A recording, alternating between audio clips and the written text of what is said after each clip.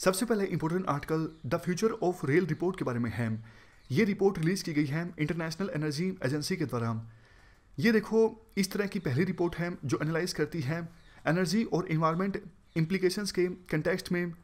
Rail की importance क्या होगी फ्यूचर में? इस रिपोर्ट के द्वारा ऑलरेडी जो प्लान या फिर रेगुलेशंस हैं रेल के फ्यूचर से संबंधित, उनको रिव्यू किया जा रहा है। और ये भी एक्सप्लोर किया जा रहा है किन पॉलिसीज़ को अपनाया जा सकता है। ये सुनिश्चित करने के लिए कि रेल का जो फ्यूचर है वो एनर्जी और इन्वायरमेंट के इम्प्लीकेशंस के हिसाब से काफ़ी ज़्यादा इम्पोर्टेंट हो। हमारे देश में देखो टोटल रेलवे लाइन की लेंथ है 68,000 किलोमीटर्स देश के 10 शहरों में अभी फ़िलहाल मेट्रो है और आने वाले कुछ सालों में मेट्रो लाइन्स सिक्स किलोमीटर तक और ज़्यादा एक्सपेंड होगी। अगर देखो हम कंपेयर करें 2000 से लेके अभी तक जो पैसेंजर ट्रैफ़िक है रेलवेज में, वो 200 परसेंट इंक्रीज़ हो गया है और जो फ्री ट्रैफ़िक है, वो 150 परसेंट तक इंक्रीज़ हो गया है। वैसे हमारे देश में हाई स्पीड रेलवे नहीं है। 2005 में इंडिया और जापान के बीच एक एग्रीमेंट साइन हुआ था बुलेट ट्रेन इस्टाब्लिश करने को लेके। वो बुलेट ट्रेन चलेगी अहमदाबाद से मुंबई के बीच। उम्मीद ये है कि 2023 तक ये बुलेट ट्रेन जो है, वो चलने लगेगी। अभी काम चल रहा है और अभी गवर्नमेंट ये भी विचार कर रही है सात नई हाई स्पीड लाइंस बिछाई जाएँ, जो कि चार हमारी जो प्रमुख महानगर हैं, दिल्ली, मुंबई, कोलकाता, चेन्नई, जो गोल्डन क्वाड्रिलेटर का पार्ट है, इनको आपस में जोड़ने के लिए सात हाई स्पीड रेलवे लाइंस बिछाने के बारे में गवर्नमेंट विचार कर रही है। यूपीएससी देखो, ये पूछ सकती है the future of rail report किसके द्वारा पब्लिश की गई है? आंसर होगा इंटरनेशनल एनर्जी एजेंसी बात करें हम इंटरनेशनल एनर्जी एजेंसी की, ये देखो एक इंटर गवर्नमेंटल ऑर्गेनाइजेशन है। ये एजेंसी सुनिश्चित करती है, तीस जो इस एजेंसी के मेंबर कंट्रीज़ हैं और आठ एसोसिएटेड कंट्रीज़ हैं, उन देशों में रिलायबल एफोर्डेबल और क्लीन एनर्जी उपलब्ध हो। इस एजेंसी का मिशन ये है चार मेन एरियाज़ पे फोकस करना। सबसे पहले एनर्जी सिक्योरिटी दूसरे नंबर पे इकोनॉमिक डेवलपमेंट तीसरे नंबर पे इन्वायरमेंटल अवेयरनेस और चौथे नंबर पे engagement world wide headquarter international energy agency का है पेरिस फ्रांस में, और world energy outlook report release की जाती है इंटरनेशनल एनर्जी एजेंसी के द्वारा. पिछले कुछ समय में और रिपोर्ट्स जो रिलीज़ की गई हैं इंटरनेशनल एनर्जी एजेंसी के द्वारा, उनके नाम इस प्रकार से हैं, जैसे world energy statistics 2017 energy technology perspectives world energy outlook world energy balances 2017 global energy and C status report 2017 एक और important fact international energy agency के बारे में, वो आप क्वेश्चन में देखिए। ये क्वेश्चन ध्यान से देखिए इंटरनेशनल एनर्जी एजेंसी के बारे में।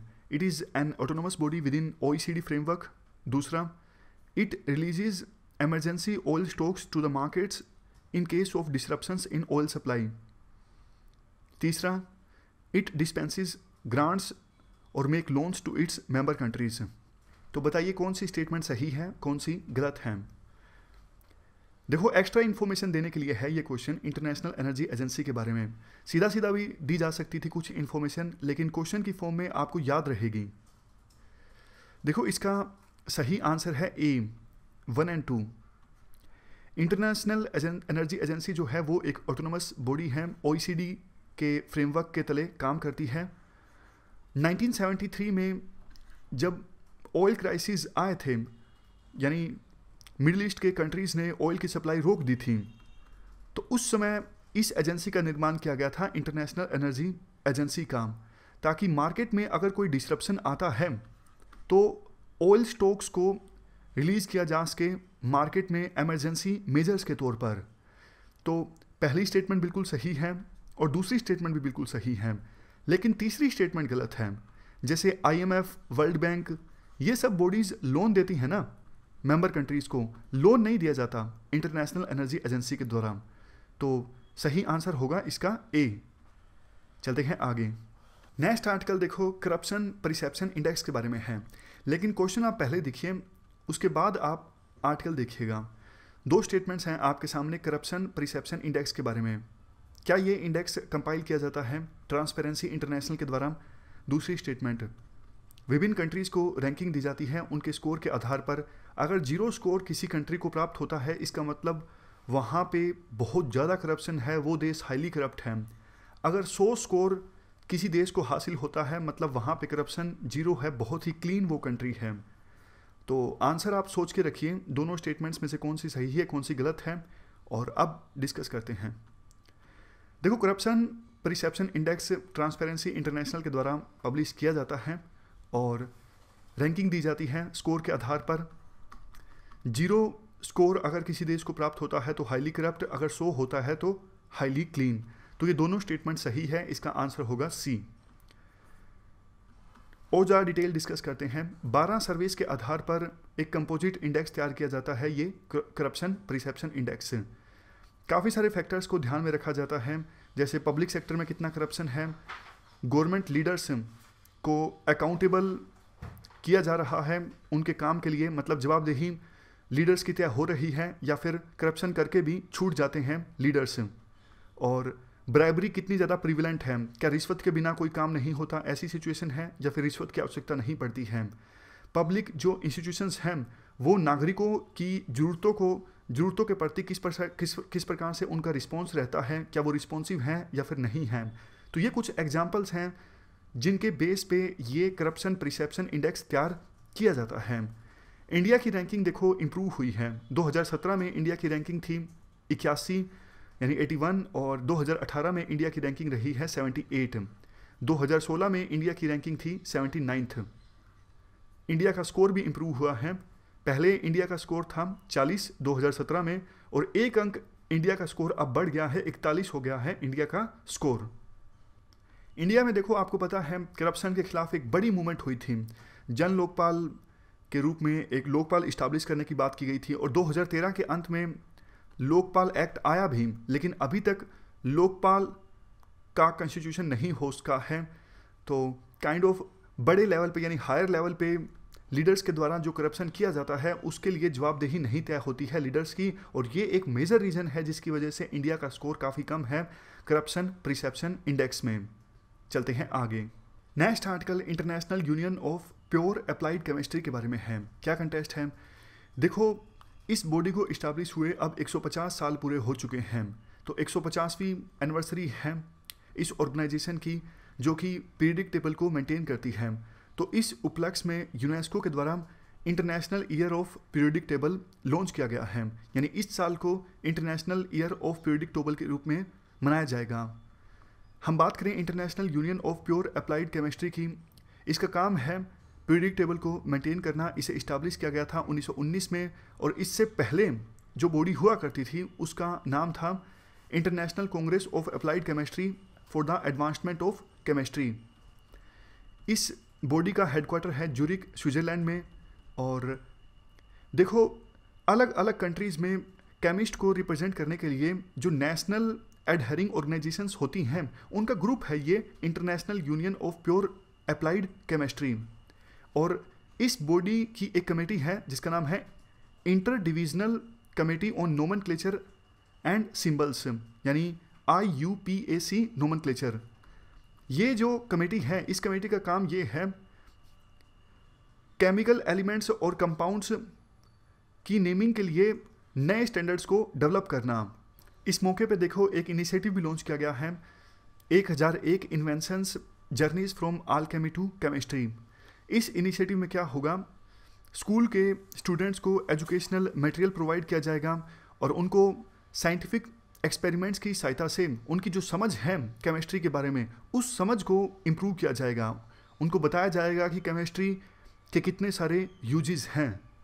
तो ये हमने पूरा आर्टिकल डिस्कस किया। एक हज़ार एक inventions journeys from alchemy to chemistry और international union of pure applied chemistry के बारे में। चलते हैं आगे। नेक्स्ट आर्टिकल क्रांति मंदिर के बारे में है। देखो नेताजी सुभाष चंद्र बोस की बर्थ एनिवर्सरी होती है तेईस जनवरी को। तो इस साल नेताजी सुभाष चंद्र बोस की बर्थ एनिवर्सरी के मौके पर सरकार के द्वारा चार नए म्यूजियम्स ओपन किए गए हैं।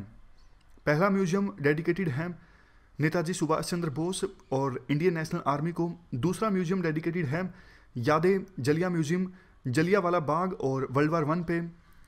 तीसरा म्यूज़ियम 1857 में जो रिवोल्ट हुआ था, यानी India's first war of independence, उस पर आधारित है। और चौथा म्यूज़ियम दृश्य कला म्यूज़ियम ऑन इंडियन आर्ट। पिछले 300 सालों में आर्ट से संबंधित जो 450 वर्क हैं, उनको रखा गया है इस दृश्य कला म्यूज़ियम में। तो ये चार नए म्यूजियम्स ओपन किए गए हैं नेताजी सुभाष चंद्र बोस की बर्थ एनिवर्सरी पर। और इन चारों म्यूजियम्स को मिला के नाम दिया गया है क्रांति मंदिर। फिर से बोलता हूँ, चार जो नए म्यूजियम्स ओपन किए गए हैं, इन चारों म्यूजियम्स को मिला के नाम दिया गया है क्रांति मंदिर। क्रांति मंदिर एक प्रकार से श्रद्धांजलि है, हमारे जो फ्रीडम फाइटर्स हैं उनकी जो रेवोल्यूशनरी झील थी, या फिर उनकी जो करेज थी, उन, उस रेवोल्यूशनरी झील को और करेज को श्रद्धांजलि है क्रांति मंदिर। चलते हैं आगे। Next article department of industrial policy and promotion के बारे में है। क्या कंटेस्ट है? देखो, इस डिपार्टमेंट का अब नाम नाम चेंज कर दिया गया है। इस डिपार्टमेंट का नया नाम होगा department for promotion of industry and internal trade समझ गए? पहले इस डिपार्टमेंट का नाम हुआ करता था department of industrial policy and promotion लेकिन अब इस डिपार्टमेंट का नाम होगा department for promotion of industry and internal trade ये इंटरनल ट्रेड एक्स्ट्रा ऐड किया गया है। इंडस्ट्री से संबंधित काम तो पहले भी होता था इस डिपार्टमेंट के पास। तो नई कैटेगरीज में जो रिस्पॉन्सिबिलिटीज़ दी गई हैं इस डिपार्टमेंट को, वो इस प्रकार से हैं।